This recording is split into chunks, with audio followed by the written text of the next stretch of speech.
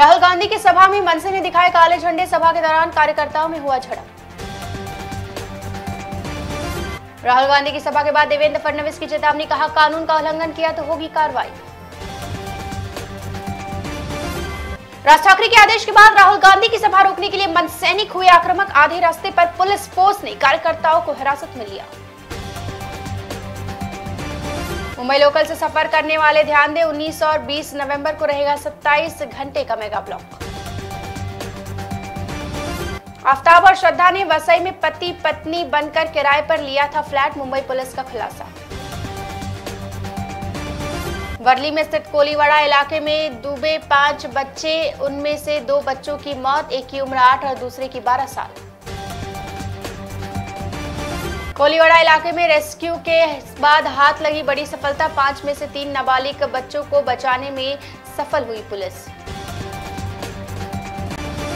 अब मस्जिदों से होगी खसरे के टीकाकरण की घोषणा, मौलानाओं के साथ बीएमसी स्वास्थ्य विभाग ने की बैठक।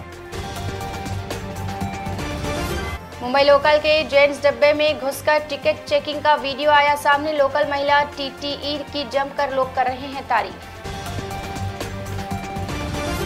सेना भवन में आदित्य ठाकरे की हुई प्रेस कॉन्फ्रेंस कहा, पाँच परियोजनाएँ महाराष्ट्र से बाहर चली गई। अभी तक कुछ नहीं। होके सरकार को सिर्फ़ राजनीति करनी है।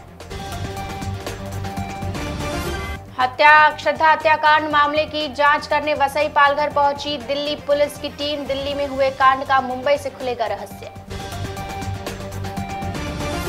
मुंबई में हो सकता था दिल्ली जैसा कांड। गोरेगांव में प्रेमिका को शराब पिलाकर जान से मारने की कोशिश, आरोपी गिरफ़्तार।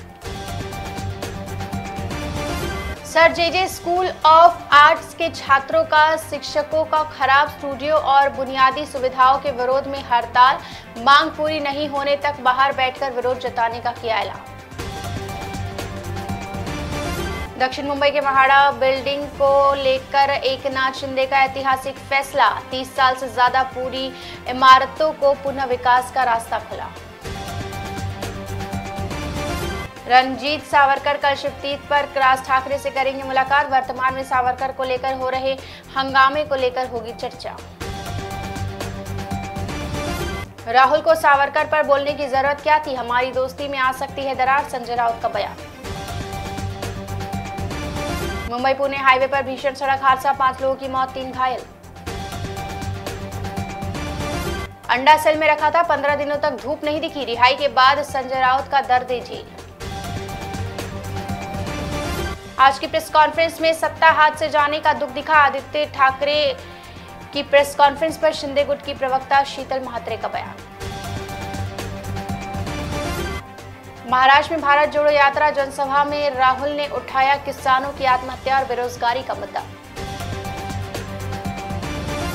पुणे में सड़क हादसे में प्रेग्नेंट वाइफ की गई जान, तीन दिन बाद पति ने जहर खाकर की खुदकुशी।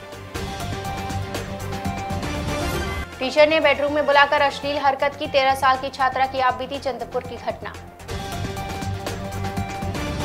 भारत के शेयर बाज़ार में नरमाई, सेंसेक्स, सतासी अंकों से बढ़कर इकसठ हज़ार छह सौ तिरसठ अंक पर हुआ बंद।